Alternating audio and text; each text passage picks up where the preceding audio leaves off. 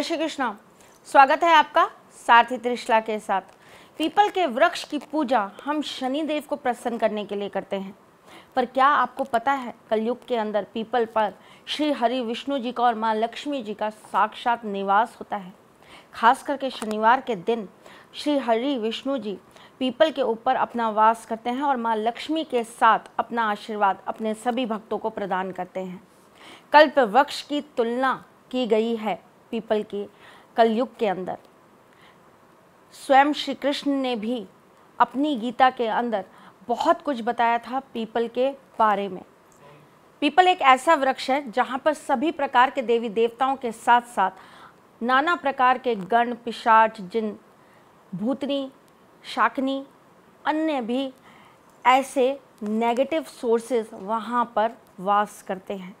परंतु क्या आप ये जानते हैं कि आपके घर की समृद्धि, आपके जीवन की प्रगति और आपके ग्रहों को शांत करने का एकमात्र तरीका पीपल का पेड़ हो सकता है।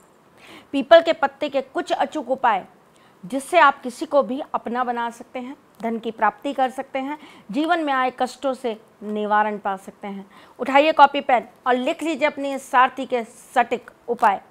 मैं आपके एस्ट्रोलॉजर हूँ, वास्तुशास्त्री हूँ, चेहरा भी पढ़ती हूँ, आवाज़ भी पढ़ती हूँ और हाथों की लकीरें भी पढ़ लेती हूँ, लेकिन उससे पहले आपकी सारथी हूँ, इसलिए आपके जीवन में आसपास में जितनी चीज़ें हैं, उन्हीं को लेकर आपके कष्टों के निवारण करने चली आती हूँ। मेरी रिसर्च दिन पर दिन बढ़ती जा रही है और ऐसी चीज़ों को लेकर आती जा रही है, जिससे हमें बहुत कम मेहनत के साथ सफलता प्राप्त हो जाए। पीपल का पत्ता मेरी उसी रिसर्च का एक बहुत बड़ा भाग है, जिसके बारे में मैं आज आपसे चर्चा करने आई हूँ। शनिवार के दिन एक पीपल का पत्ता घर में ले आइए। थोड़ी देर उसको हल्दी के पानी में डुबो के रख दीजिए। पीपल का पत्ता तोड़ेंगे नहीं, जो गिरा हुआ होगा वही लेके आएँगे। कटा नहीं होना चाहिए, साबुत पीपल का पत्ता हमें चाहिए। हल्दी के पानी में थोड़ी देर आप उसको रख लीजिए, तत्पश्चात उसे सूखा लीजिए। उसके बाद में आप उसके ऊपर लिखेंगे, रिद्धि, वृद्धि, सिद्धि और अपना नाम। और ये किससे लिखेंगे आप? हल्दी से। तत्पश्चात आप उसको अपने घर में किसी भी मूर्ति के नीचे या किसी भी फ़ोटो के नीचे आप उसे छुपा कर रख देंगे। मूर्ति के पीछे भी रख सकते हैं, तस्वीर के पीछे भी रख सकते हैं। आप 21 दिन तक उसे अपने मंदिर में रखे रखेंगे। देखिएगा धीरे धीरे करके आपके घर के अंदर पॉजिटिव एनर्जी भी आने लगेगी, माँ लक्ष्मी का वास भी होने लगेगा, आपकी मनोवांछित इच्छा भी पूर्ण होने लगेगी। लेकिन जब तक आप ये पीपल का पत्ता रखते हैं तब तक आपको सुबह जल्दी उठकर अपने घर के अंदर पूजा पाठ करना है और रात को संध्या के समय भी आपको पूजा पाठ नित्य नियम रूप से करना है। घर में घी का दीपक जलना अनिवार्य है और घी का दीपक जलाते समय एक केसर की पत्ती उस घी के दीपक में ज़रूर डाल दीजिएगा। मन वांछित इच्छा पूर्ण होने का एकमात्र छोटा सा उपाय दे रही हूँ। करके देखिएगा इसका फल आपको ज़रूर बहुत लाभप्रद मिलने वाला है। चलिए, कोई आपके वश में नहीं आ रहा है, किसी को आपसे प्यार नहीं है, कोई आपकी बात मान ही नहीं रहा, चाहे वो आपका बॉस हो, चाहे वो आपकी सास हो, चाहे वो आपके घर वाले हों, चाहे वो आपका भाई हो, चाहे आपका पति हो, चाहे आपका बेटा हो, चाहे आपकी बहू हो, कौन सा रिश्ता मैं नहीं जानती। लेकिन एक व्यक्ति जिसको लेकर आप चाहते हैं कि वो सिर्फ़ आपका हो जाए आपकी यूँ मुट्ठी के अंदर बंद के आपके हिसाब से चल जाए। वैसे तो ये बात बहुत गलत है जी, क्योंकि अगर आप किसी से प्रेम करते हैं तो अपने प्रेम से उसे जोड़िए। लेकिन कई बार क्या होता है, किसी को प्रेम समझ नहीं आता, इसीलिए हमें उसको प्रेम समझाने के लिए कुछ ऐसे प्रयास करने पड़ते हैं, जिससे वो हमारे प्रेम की कदर करने लगे। रिश्ता कोई भी हो, मैं नहीं जानती। भाव अच्छे होने चाहिए। इस चीज़ को कभी भी किसी और की पत्नी या किसी और के पति को वश में करने के लिए मत कीजिएगा। ज़बरदस्ती किसी के साथ गलत रिश्ते और संबंध बनाने के लिए इस प्रयोग को मत करिएगा, वरना ये उल्टा आपके ऊपर विनाशकारी प्रयोग साबित हो जाएगा। क्या करना है आपको? सोमवार के दिन पीपल के पत्ते के ऊपर लाल गुंजा रखकर आपको शिव जी के मंदिर में चढ़ाना है और उस पर आपको 108 बार कच्चे दूध से अभिषेक करना है, ओम नमः शिवाय बोलकर। देखिएगा, जिसको भी आप प्राप्त करना चाहते हैं, जिसको भी आप अपने पास बुलाना चाहते हैं, जिसको भी आप अपने प्रेम के प्रति आकर्षित करना चाहते हैं, वो आपके प्रेम का ज़रूर सार को समझेगा और आपके प्रति आकर्षित ज़रूर होगा। मनोकामना ज़रूर बोल के आइएगा, वहीं पीपल का पत्ता और गुंजा छोड़ आइएगा। लगातार 21 सोमवार ये कार्य कर लीजिए, भोलेनाथ की कृपा आप पर और आपके घर पर ज़रूर बरसेगी। अगर आपके घर में किसी विवाह योग्य पुत्री या पुत्र का विवाह नहीं हो पा रहा है तो ये माएँ कर सकती हैं अपने बच्चों की आगे के वैवाहिक जीवन को सफल करने के लिए और सुख शांति लाने के लिए और उनका विवाह शीघ्र हो जाए उसके लिए ये प्रयास करें। क्या करना है आपको? आपको 11 थर्सडे यानी कि गुरुवार, आपको पीपल के पत्ते के ऊपर हल्दी की पाँच गांठें रखकर श्री हरि विष्णु जी के मंदिर में जाकर चढ़ा कर आना है। अगर आपके आसपास श्री हरि विष्णु जी का मंदिर ना हो तो आप ये काम केली के पेड़ पर भी कर सकते हैं। चलिए, अगर आपके जीवन में धन का अभाव हो रहा है, आपके घर में कहीं ना कहीं नकारात्मक शक्तियों का बढ़ता जा रहा है बहुत दुष्प्रभाव और आपके जीवन में अचानक से सब कुछ बहुत घुटा घुटा और बहुत बंधा बंधा सा महसूस होने लगा है। जीवन स्टक सा हो गया है, आगे बढ़ ही नहीं पा रहा है।